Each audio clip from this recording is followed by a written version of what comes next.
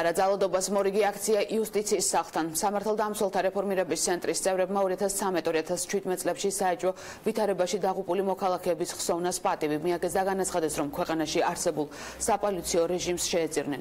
აქციის ორგანიზატორებმა 40-ზე მეტი გარდაცვლილი სახელები და გვარები ზურაბ ვაზაგაშვილის მემორიალის წინ ბანერზე გამოფინეს.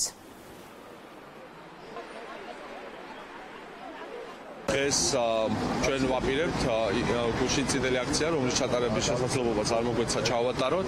ჩვენ დღეს გამოფენთ ბანერს, სადაც იქნება ჩამოწერილი იმ ადამიანების სახელები და გვარები, რომლებიც ემსხვერპლა ბოლო წლების განმავლობაში ხელისუფლების სისტემურ რეჟიმს. აქ საუბარია 40-ზე მეტ ადამიანზე. აქ საუბარია ბარბარე რაფალიანციდან პაატა პავლეაშვილის ჩათვლით, ბექა ხახუბია, ფარტენაძე სახელებს და გვარებს ჩვენ დღეს სიმბოლურად გამოვხდით მათი ხსოვნის პატივსაცემად და ხელში დავიჭერთ მათ ფოტოებს. პროტესტებთ პოლიციის მიერ ესა რა ვთქვა გულგრილ მოპყრობას იმ ახალგაზრდებზე, რომლებიც გარდაიცვალნენ პოლიციის დაუდევრობის გამო გულისხმობ.